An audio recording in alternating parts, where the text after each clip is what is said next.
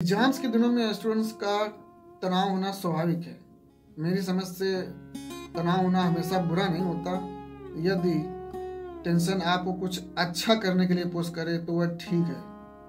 अगर अपने school days को याद करूँ और उसमें से एग्ज़ाम्स और क्लास टेस्ट को अगर हटा दूँ तो शायद 25 परसेंट ही पढ़ाई होती है। एग्ज़ाम्स हमें पढ़ने के लिए फोर्स करते हैं।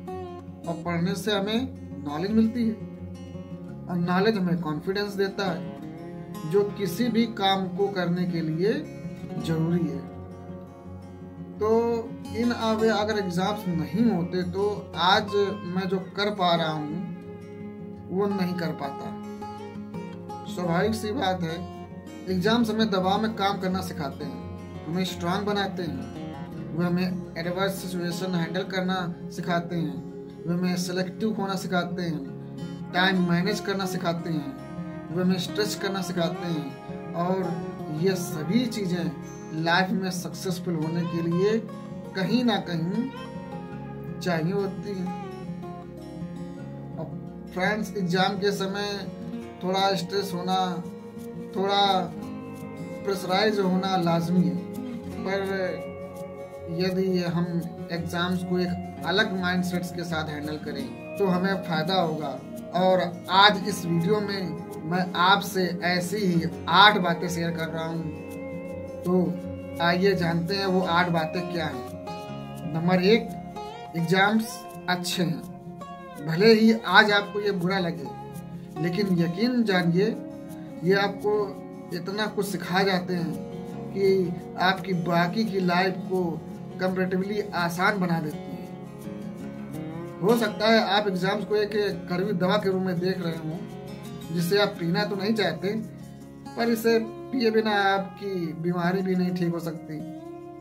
खुद से बार बार कहिए, मन में दोहराइए एग्ज़ाम्स अच्छे हैं एग्ज़ाम्स अच्छे हैं। चाहे तो लिखकर दीवार में चिपका लीजिए, फ़र्क दिखेगा।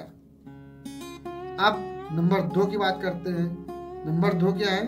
तैयारी का अलग ही मज़ा होता है। जी हाँ एग्ज़ाम की तैयारी कुछ खास होती है। बोर्ड एग्ज़ाम्स हो तो बात ही कुछ और है।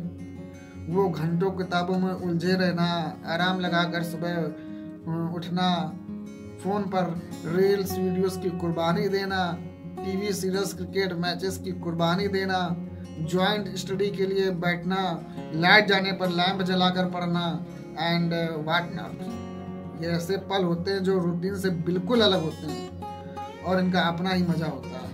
इन पल को बर्डन के रूप में ना देखें, बल्कि इंजॉय करें। अब बात करते हैं नंबर तीन की। आपको अपना बेस्ट एफर्ट देना है बस। यानी कि अगर आप पहले के एग्ज़ाम्स या टेस्ट में एवरेज रहे हैं और पूरे साल आपने कुछ एक्स्ट्रा एफर्ट नहीं डाले हैं तो सिर्फ़ एग्ज़ाम्स के बाद पढ़कर चमत्कार की अपेक्षा भी ना करें। क्या हुआ? भूल जाएँ। बस ये देखें कि अब आपके पास कितना समय बचा है और उसमें अपने बेस्ट एफर्ट देने की कोशिश करें। ये सोचना बेकार है कि आपके क्लास के और बच्चे क्या क्या पढ़ चुके हैं, कितना रिवाइज कर चुके हैं। आप किसी और को देखने की ज़रूरत है ही नहीं, किसी कंपेरिजन की ज़रूरत नहीं है। अब फ़ायदा भी क्या? ऐसा करने से कुछ फ़ायदा है?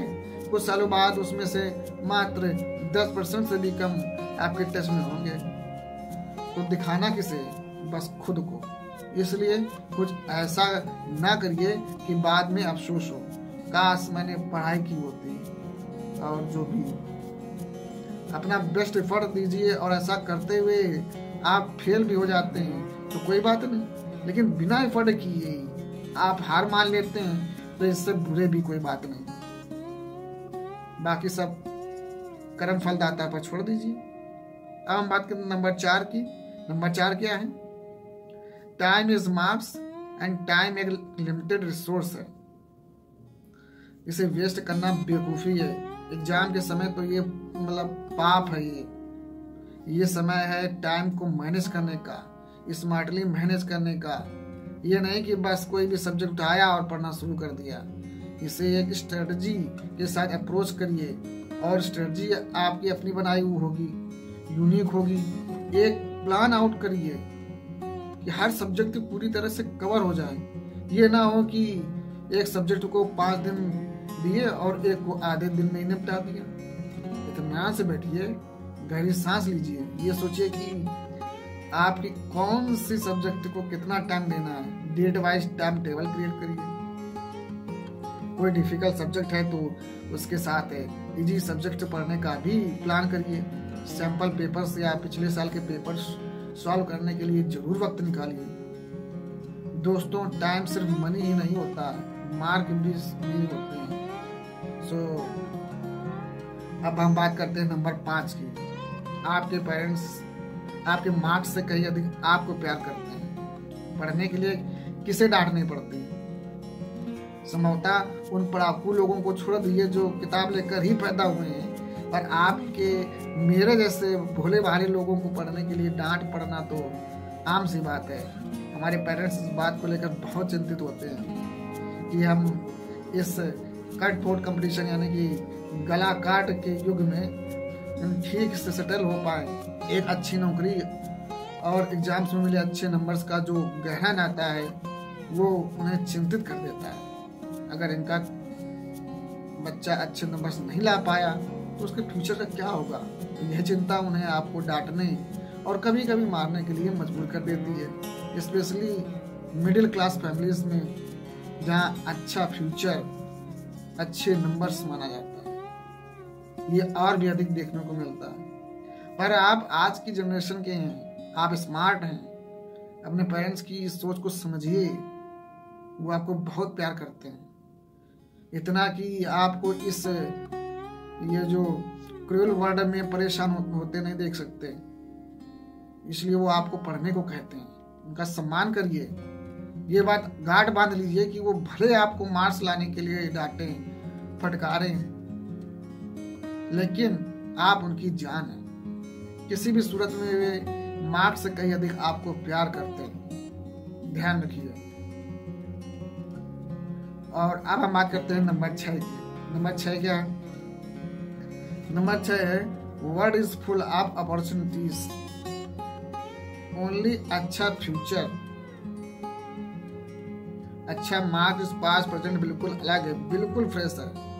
ये कुछ कुछ थ्री इडियट्स की स्टोरी जैसा है, जो पुराना है, उसे बस दो चीज़ें पता है। लड़की हुई तो डॉक्टर लड़का हुआ तो इंजीनियर लेकिन जो नया है वो तो कुछ भी कर सकता है। वाइल्ड लाइफ फोटोग्राफर भी बन सकता है। जिस दिन मतलब जिस दुनिया में हम जी रहे हैं, वो दस पंद्रह साल पहले की दुनिया से बहुत अलग है। भारत में आज करियर बनाने के ढेरों ऑप्शन और लकली उनके मार्क्स से कोई डायरेक्ट रिलेशन भी नहीं है।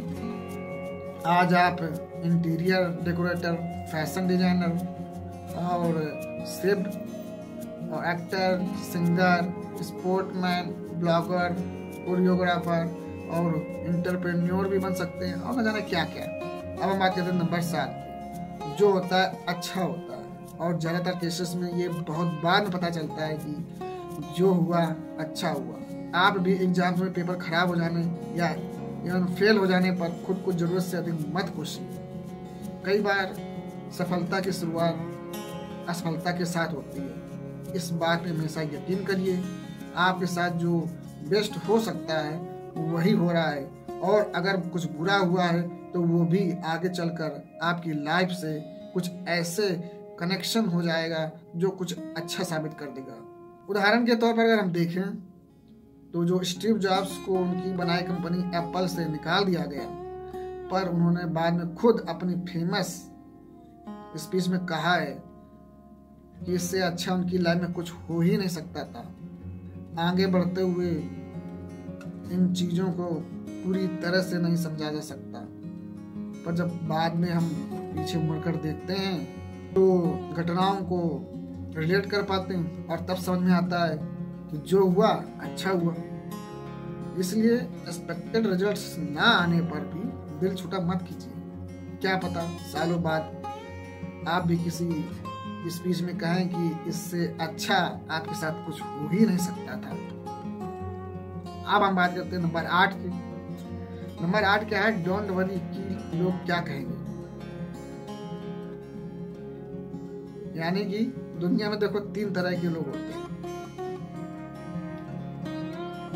नंबर एक, जो हमें सफल होते देखना चाहते हैं, जैसे हमारे पेरेंट्स फैमिली मेंबर्स और कुछ रिलेटिव और मित्र। सामान्यतः ऐसे लोग जिनसे हम इमोशनली बहुत अधिक अटैच्ड होते हैं।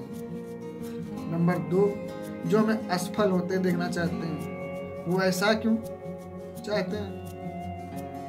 ये तो मुझे नहीं पता। इस ग्रुप में कोई भी हो सकता है। कोई भी फेक फ्रेंड रिलेटिव पड़ोसी या कोई और। और नंबर तीन, जिनको हमसे कोई मतलब ही नहीं।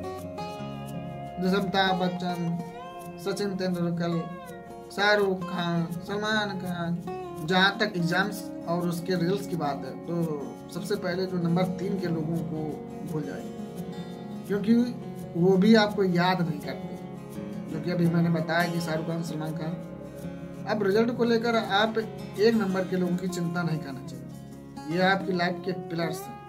हाँ हर परिस्थिति में आपके साथ खड़े रहने वाले हैं। आपके मिता माता पिता दोस्त रिलेटिव ये ज़रूर हो सकता है कि ये ऊपर से ऐसा ना दिखाएँ पर इतना निश्चित है कि इनसे बड़ा आपकी लाइफ में कोई सपोर्ट हो ही नहीं सकता। नंबर एक और तीन हो गए बच्चे कौन नंबर दो वाले, आप खुद सोचिए, जो लोग आपको असफल होता देखना चाहते हैं, आपको उन्हें कितनी इंपॉर्टेंस देनी चाहिए, है ना? जरा जरा भी नहीं। वो जैसे फील करते हैं, करें। मेरे फेल होने पर खुश होते हो तो हो मेरे पास होने पर रोते हो तो रो। मुझे तो उन पर ध्यान ही नहीं देना है। क्योंकि उन पर ध्यान देना मतलब अपनी लाइफ में निगेटिविटी को अट्रैक्ट करना। इसलिए छोड़ो। अगर आप इस ग्रुप को खुश करेंगे तो आप कभी नहीं कर पाएँगे। जब आप असफल होंगे तो ये कहेंगे कि आप फेल हो गए। जब आप पास होंगे तो यही कहेंगे तो क्या हुआ? फ़र्स्ट डिवीज़न तो नहीं ला पाया ना। जब आप फ़र्स्ट डिवीज़न लेकर आएँगे तो ये ज़रूर कहेंगे कि तो ये कहेंगे ये ज़रूर चीटिंग किया है।